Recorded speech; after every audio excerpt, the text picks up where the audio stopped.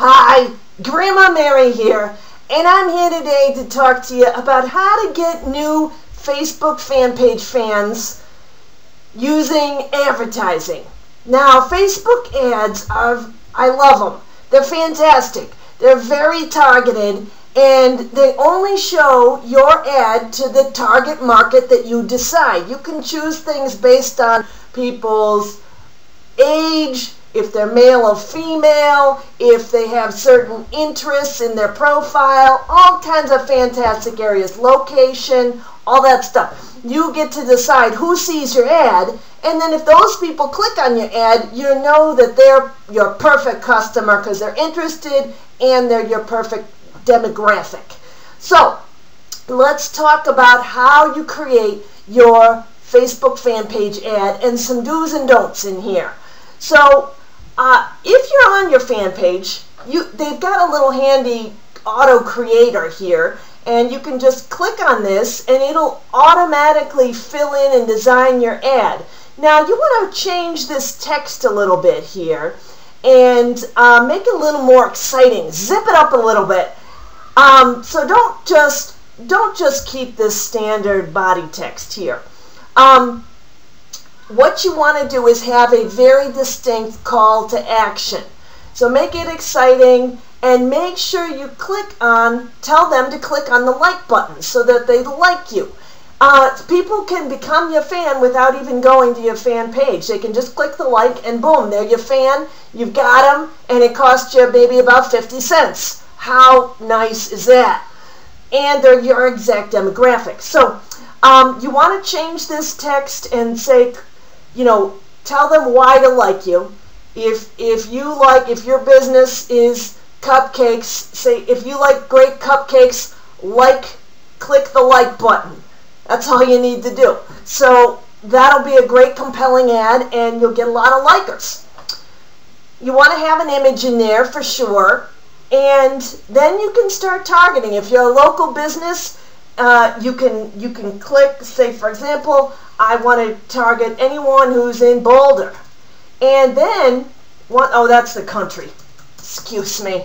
So it's got the country, and then you can do by city, and you can say Boulder. Ah. Boulder, Colorado. Now it tells you how many people approximately you're going to reach. 1.6 million in the Boulder area. But then you can narrow it down. Say you want to advertise to only people who are, you know, 30 and up or something like that. Then you find out how many people that reaches. And then here you can target what they what they might have in their in their profile. So say you wanted to put cupcakes. I don't know how many people are going to say cupcakes in their profile. Thousand people. That's very targeted. So you're going to target the people who like cupcakes in Boulder, you know, and and they're going to see your ad and then hopefully click on it. So then what it does is it gives you a choice of pay-per-clicks or pay-per impressions. Now, you really, I would recommend staying with the pay-per-click model um, because then you're only paying for anyone who clicks on your ad. And it gives you a suggested bid. Now, this I would keep this bid. I'm not a I'm not an AdWords expert, ads expert, but here's what I've seen. I've seen that you keep the the the bid that they suggest if it's not getting a lot of views, maybe up it a little bit. Um, but what ends up happening is you usually don't always pay this bid. Sometimes it goes lower. It's just a whole crazy science there that we're not going to get into right now.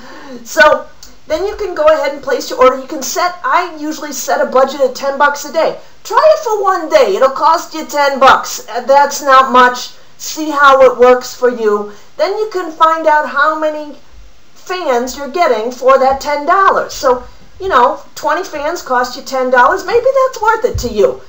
20 targeted fans who might buy your product. I don't know. So it's a good experiment. I recommend just trying it, testing it out. I'm going to show you one other quick thing. If you don't want to advertise your fan page, you can advertise other things here.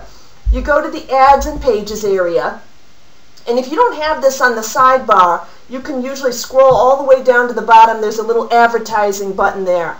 And here's some of the campaigns I've run in the past. And you say create an ad. over on the side. Oh, it's not there. Oh, create an ad on the side. And then you can design anything you want. But, uh, so you can advertise your website and again, get that targeted reach. So try Facebook ads. They're fantastic. A lot of bang for the buck there.